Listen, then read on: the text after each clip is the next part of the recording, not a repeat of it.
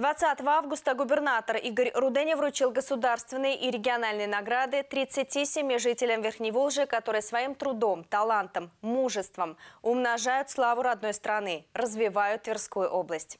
Также глава региона вручил первые паспорта юным гражданам Российской Федерации. Торжественная церемония была приурочена ко Дню государственного флага, который отмечается 22 августа. Российский триколор, по словам губернатора, символизирует величие побед и достижений, незыблемость духовных и нравственных ценностей, а также традиций нашего народа. Президент Российской Федерации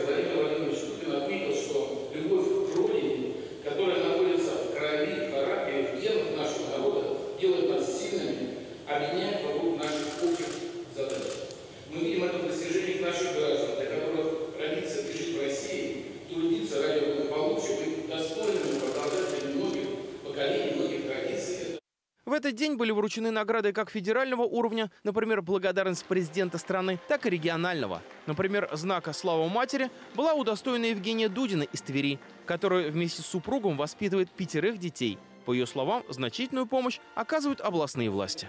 Спасибо Игорю Михайловичу. Он, как многодетный отец, очень много сделал для многодетных. И вот школьную форму. э, Мы воспользовались э, покупкой автомобиля, тоже помог нам.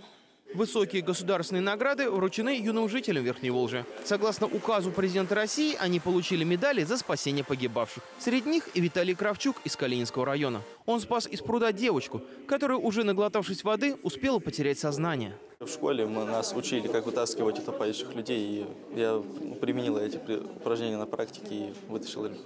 Было глубоко. Глубина метра 3-4 в пруду.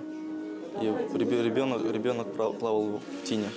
Всего отраслевых званий и наград Тверской области были удостоены представители здравоохранения, строительства, промышленности, сельского хозяйства, сфер культуры, социальной защиты, образования, муниципальные служащие и спасатели. По словам Игоря Рудени, они – пример преданности стране и своему делу, являются ориентиром для подрастающего поколения. Представителям последнего, шести школьникам из Твери, Санковского района и Ржева, губернатор вручил паспорта гражданина.